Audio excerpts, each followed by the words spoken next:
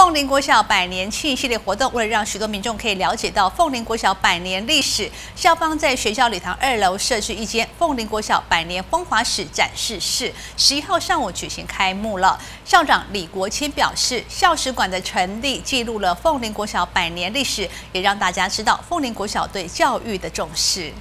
凤林镇可说是校长的故乡，孕育出了百位以上的校长。而最具历史的凤林国小，就是培育校长摇篮的教育中心。十一号上午，校方在学校大礼堂举行了校史馆的揭幕活动。李国清校长表示，具有百年历史的凤林国小，在最有意义的日子，希望以校史馆的方式来成立纪念凤林国小的发展历史。那为什么要办一个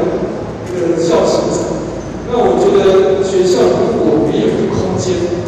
把我们的历史东西放在里面，它会散在学校各处的角落。啊，所以我们为了把我们的奖杯找回来，我们去参去各个储藏室，把过去啊我们的校友为了学校争取那么多经费，结果呢，那个那个比赛的结果又因为没有地方放，也放在仓库里面可惜。说我们把它找回来，现有的还可以看，想要放在二楼的那个教室上，好，再欢迎各位一起来一起来参观我们凤鸣国小的一个历史。未来那间教室是放在我们学校有任何的一个文史资料，好，做各位在座手上还有，你们欢迎来给我。二十七号当天会有更多人。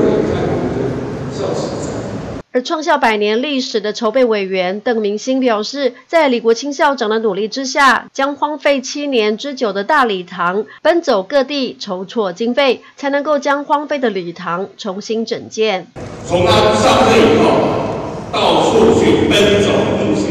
把这个废弃的七年，你们七年的学长们都没有办法在自己的学校里面，这个做毕业典礼。今年你们毕业典礼是在你们自己的活动中心办毕业典礼，这就是我们李校长回来要第一件的东西，让我们的活动中心有那么好的环境。各位小朋友，在民国九年创立至今，已经有百年历史的凤林国小，孕育出了无数的校长。而这些在教育历史上贡献良多的教育先驱，从校园内设立的孔庙，就能够看见学校对于教育百年树人的重视。今日也在师生的见证之下，进行了校史馆的揭幕，希望让更多人能够了解凤林国小在教育历史上的贡献与教育的重要性。记者林杰，凤林镇采访报道。